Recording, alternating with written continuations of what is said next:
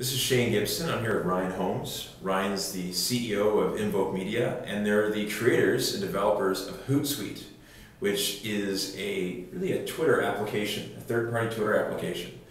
And maybe what we want to start off with is telling a little bit more about uh, Hootsuite and what made you guys want to create this application. Sure. Well, uh, Hootsuite is a tool that we built out of our, company Invoke, and uh, Invoke does a lot of work in social media. We uh, have a, a, video contesting platform. It's called Meme Labs. Great. And uh, with our work with Meme Labs, we were putting up contests for various brands, uh, Wells Fargo, Gap, Transworld, uh, kind of large brands, and in putting these contests together online, we realized that we needed to also help drive traffic, awareness, engagement with uh, people um, online.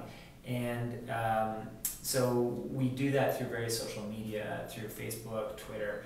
And, and in doing that work, we realized that there wasn't really a good tool for managing multiple Twitter accounts. Uh, and, and that worked with team workflow.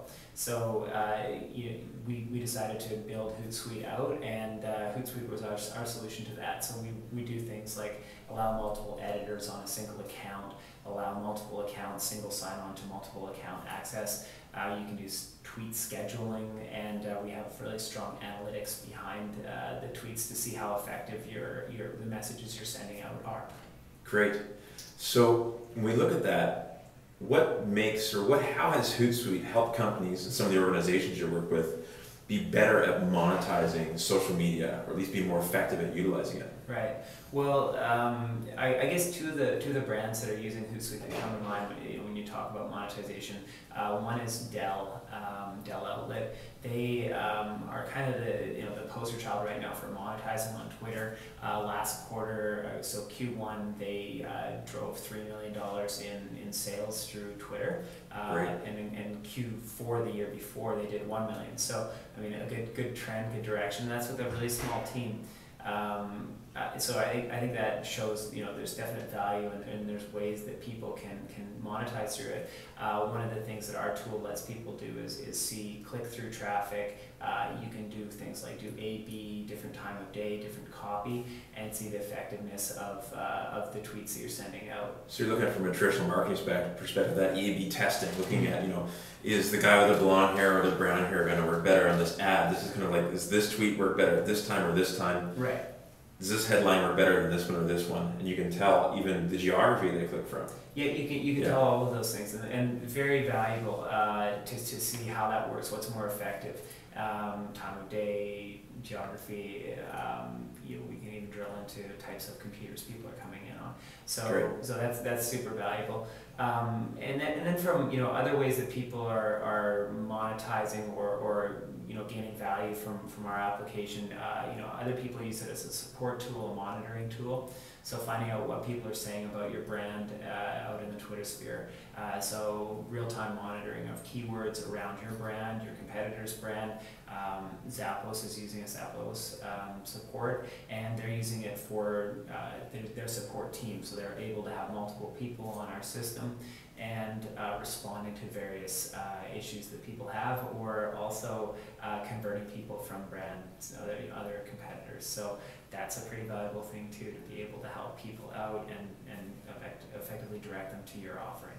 Great. Now, what made you decide? Like, I, I'm a Hootsuite user. I was using it before. I kind of got to know you, uh, the first version, and now I've had a chance to look at the Hootsuite 2.0, mm-hmm. which has been fantastic. Uh, it's been a little addictive, to be honest. Uh, I was always a browser guy. I didn't like the third-party desktop apps, right. um, but this one's actually got me in it. Right. Um, but what made you choose a browser-based Twitter, a third-party Twitter tool versus a desktop one? Sure.